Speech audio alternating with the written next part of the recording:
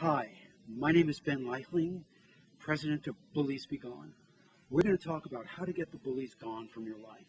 Specifically, we'll talk about recognizing the signs that there's harassment and bullying in the workplace.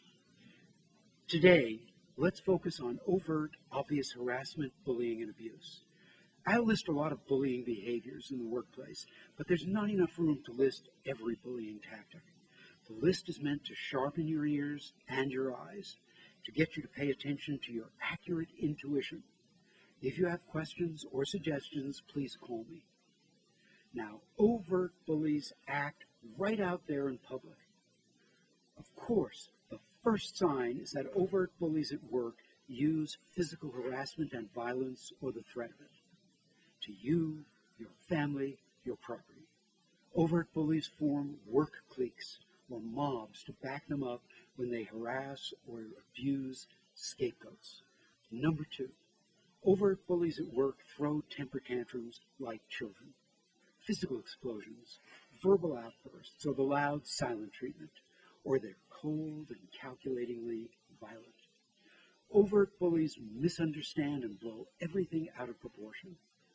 They're the finger in your face, yelling, aggressive, abusive, argumentative, personal name calling.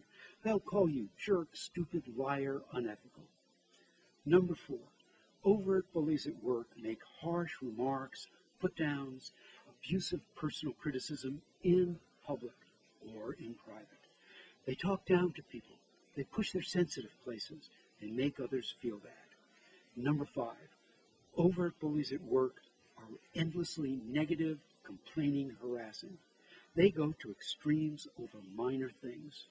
They threaten lawsuits or revenge or physical violence or property damage instead of compromising or looking for win win solutions.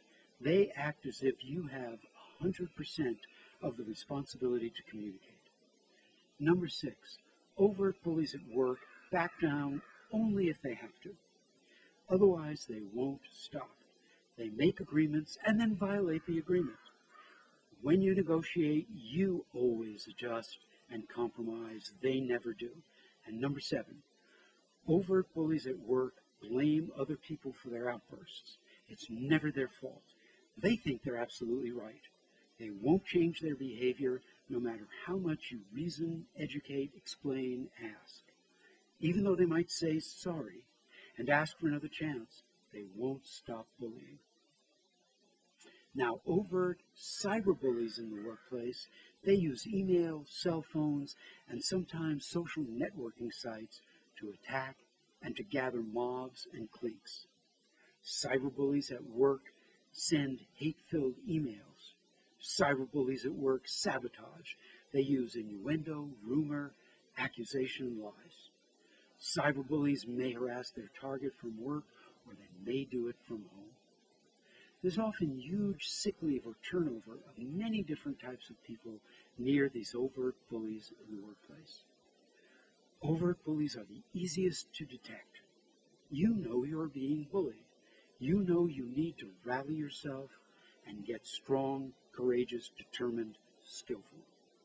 You can never be nice enough, kind enough, sweet, or caring enough to change these workplace bullies.